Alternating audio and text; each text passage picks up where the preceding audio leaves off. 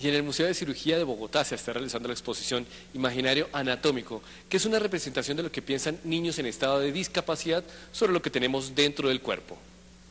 Desde hoy 25 de septiembre y hasta el 7 de octubre se llevará a cabo en el Museo de la Sociedad de Cirugía de Bogotá del Hospital de San José la exposición Imaginario Anatómico, en esta muestra se podrán apreciar las obras de arte y pinturas realizadas por niños, niñas y adolescentes que hacen parte del taller de arte del Centro Crecer Lourdes, las cuales reflejan la anatomía humana y el imaginario de los niños sobre lo que hay en el interior de los seres humanos. Es importante exaltar las habilidades artísticas de los niños que participan en esta exposición, las cuales superan sus discapacidades cognitivas, síndrome de Down y en algunos casos limitaciones físicas.